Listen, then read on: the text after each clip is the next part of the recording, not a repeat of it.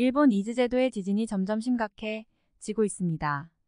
3월 11일 토요일 이즈제도에서 규모 5.2와 4.2의 강진이 발생을 한 이후 3월 18일에는 규모 4.4와 4.8, 3월 20일에는 규모 4.9 어제, 3월 23일에는 규모 4.6의 강진이 발생을 하고 있습니다. 3월 11일부터 3월 23일까지 일본 이즈제도에서 규모 4에서 5클래스의 강진이 6번 발생을 하였습니다. 이, 이것은 무엇을 의미하는 것일까?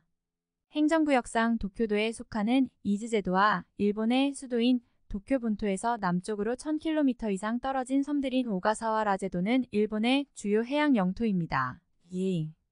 오가사와 라제도와 이즈제도는 일본 대지진 발생의 바로미터입니다. 우리는 괌에서 시작하여 북마리아나제도, 그리고 오가사와 라제도와 이즈제도에서의 지진과 화산 폭발을 토대로 하여 일본 본토의 대지진을 예측해내고 있습니다. 얼마 전에도 이즈제도 하치조지마에서 지진이 발생한 후에 시즈오카현이 있는 스루가만과 치바현 그리고 이바라키현을 강타했던 적이 있었습니다.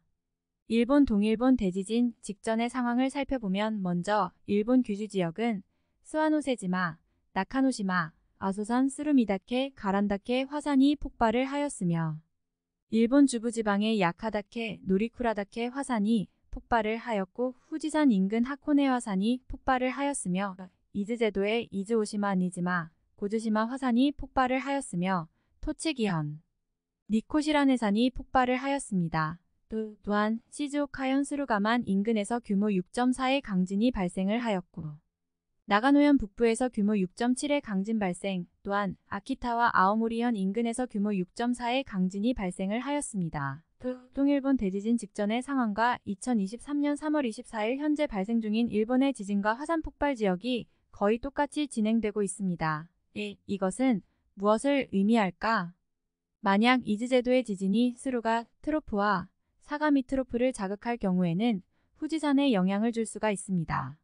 또한 사가미 트로프를 이즈제도의 최근 강진들이 자극을 계속할 경우에는 일본의 수도인 도쿄 아래의 지하석 활단층들을 자극하여 도쿄에 강력한 지진이 발생할 수 있습니다.